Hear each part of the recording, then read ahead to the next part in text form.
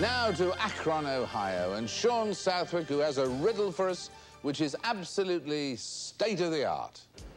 What has five computers, two wheels, two solar panels, an electronic compass, a ham radio station, and a highly sensitive security system? Please do not touch these AirShots. Answer, the Winnebiko 2. Steve Roberts' unique combination of home, office, and transportation a custom-made new entry into the Guinness Book of World Records, the highest high-tech bike in the world. Steve, for you, there really is no place like home. Well, home is where the bike is.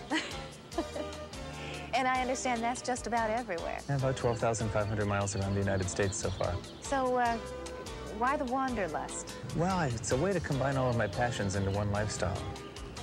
By traveling and writing full time, I can continue. I can be a freelance writer while feeding myself with a huge variety of adventures. And the computerized bike lets me do business on the road. It's an electronic cottage on wheels.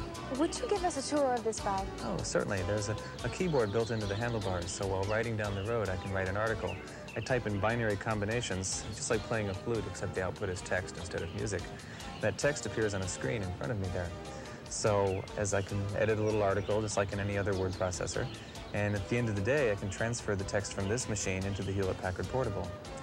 Then in that machine, I have a full-scale word processor, and I can then hook it up to the Genie network through my modem at a payphone or any place, and send it to my editor or to my own magazine or wherever it's going. Uh, there are a number of other systems here, too. Of, of course, there's a security system, a speech synthesizer, a packet radio system that allows me to send and receive electronic mail from the road, and, of course, a ham radio station and all the other basic bicycle accessories.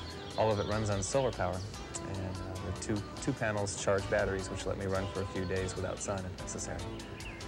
Uh, mechanically, it's interesting too. There's 36 speeds and disc brakes, both front and rear. And the total weight of the entire system, not including me, is 255 pounds. Now, if you think Steve's bike might get lonely on the road, don't you worry. It has an elegant companion. And so does Steve. It's Maggie Victor, who shares his travels. Steve, you two seem to have succeeded in having it all and taking it all with you at the same time. Well, thank you for sharing your home with us. And as Johnny would say, may the sun always shine on your solar panels.